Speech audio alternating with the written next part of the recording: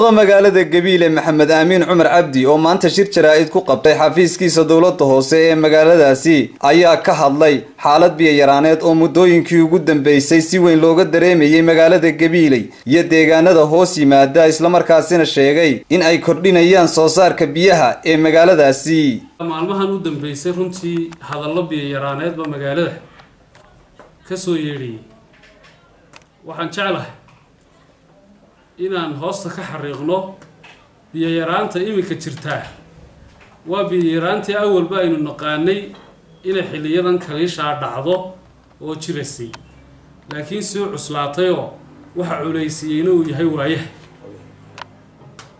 waayo isticmaalkii biyuhu halkii ay shalay taagnaayeen way ka badan yihiin. Waxaynu ka warqabnaa in soo guurto badan ay gobolkii dul joogto. Markaan u yimaado magaalada gabiley dadweynaha reer gabiley dee waxay ka cabbaan ceelasha botoreed hadday tahay gebile hareeraheeda hadday tahay kalabeydh hareeraheeda hadday tahay botor lafteeda iyo hadday tahay boqor oo geed ballaadh iyo allay badan wixii ka soo sokeeyaaba ay u soo arooraan. Ceelasha sideedii sannadood ee u dambeeyey wax alla wax lagu kordhiyey. Ma jiraan wax soo saarkaa ceelasha biyaha sideedii sannadood ee u dambeeyey wax ku kordhay ma jiro. Isticmaalkiina maalin kastoo ilaahay cadceed soo saaro uu kordhaya ama tirada dadka korodho ha noqdo ama tirada xoolahoo korodho ha noqdo. Maantana waxaba inoo sii dheer. Soo guurtadii maamul ahaan dadaal baanu wadnay. Runtii si aan wax soo saarka u kordhin lahayn dee dad inagu soo qaxay oo xoolahoogii iyo iyagiiba culays inagu hayaan waa inaynu iyaga prioritiga siinaaba haddaad iminka boqor aada tagto saacadda aynu joogno ilaahay baa yaab kuu keenaya. Xoolaha iyo dadka dhulka isugu yimid. Khasab bay noqonaysaa in la waraabiyo. Haddaad tagto botor sidaa iyo kadaalik haddaad tagto kalabaydh meel kastoo maanta ay dadkii biyo ka heli karayaan way isugu yimaadeen oo iskugu soo habarwacdeen waxaa intaa ka daran booyadihii oo iyaguna dee ceelashii magaalada waraabin jiray uu dul jooga oo culays ku haya oo sidaa idii sheegaya afar iyo tobanka booyadoodba ay maalin kasta soo guurtada iyo dadkii miiga biyo qaadayaan. Sidaa daraaddeed waxaan dadweynaha reer gabilo ugu baaqaya in aynu dul qaadanno inta culayskaasi u jiro ama culayska soo guurto ha noqdo ama culayskaa abaareed ha noqdo aynu u dul qaadanno inta ilaahay inaga soo furanayo naxariistiisi iyo raxmaddiisii inoo shubayo oo aynu ilaahay barino. Waxaanu maamul ahaan markii u horreysay ka howlgallay inaan wax soo saarka kordhinno.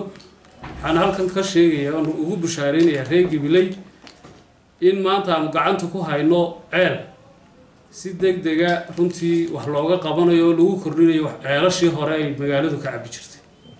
Waxaan jeclahay inaan uga mahad celiyo xukuumadda madaxweyne axmed maxamed siilaayo oo markii aanu u bandhignay duruuftaa jirta garowshiya ka bixisay jawaab dadegana na siisay aada baan ugu mahad celinayaa runtii xukuumadda. Dadweynahana waxaan u sheegayaa runtii inay ku bushaaraystaan xeelkaasi deg deg baa loo bilaabayaa waa la qodayaa runtii waxaan rajaynaynaa inuu xaaladan adaga iminka jirto wax ka tari doono maadaama wax soo saarka yaryahay sidoo kale duqa magaalada gabiile maxamed aamiin cumar cabdi ayaa jawaab ka bixiyey hadallo ka soo yeedhay mas'uuliyiin reer gabileya isagoo arrimahaasi ka hadlayana waxa uu yidhi. Sidoo kale waxaan halkan dadweynaha ugu sheegaya kuwa sida qaldan u fikira wakhtiyadan oo kale noloshu adag tahay waxtar mooyaane waxyeello runtii ummadda waa laga dhowraa hadalna ha ahaatee. Biyaha iyo xaaladaha nolol ma aha wax siyaasad la gelin karo.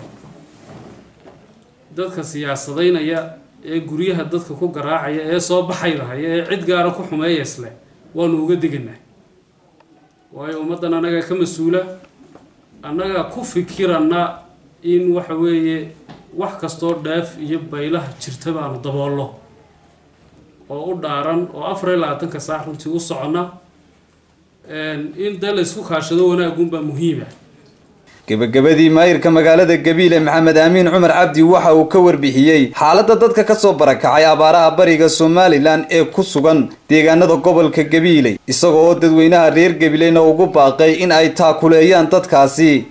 Waxaa bilihii u dambeeyey dalka soo wajahay abaar aada iyo aada u adag oo ka dhacday weliba gobollada bariga. Abaartaasi runtii waxay ahayd abaaraha ugu adag ee dalkan soo maray oo ilaa iyo maantana taagan oo weliba halkii ugu adkayd xaaladdeedu maraso marka laga yimaado gobollada bariga waxay sidoo kale saameyn ku yeelatay gobollada galbeedka uu ka miyday gobolkan gabiley oo dadkii barigu ay ku soo hayaameen.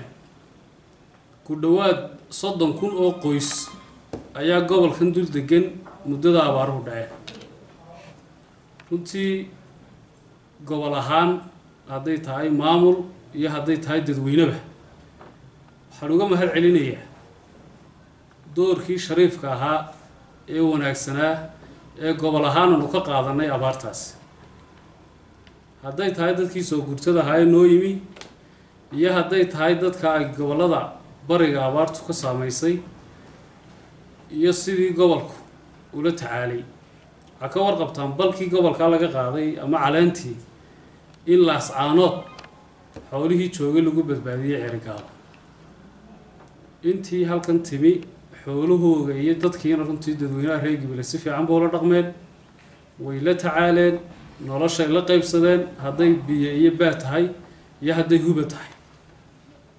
Ilaahay subxaana wa tacaala dee goortuu soo inoo soo naxariisanayo runtii isaga u qorshaysan tahay xaaladdii weli way adag tahay.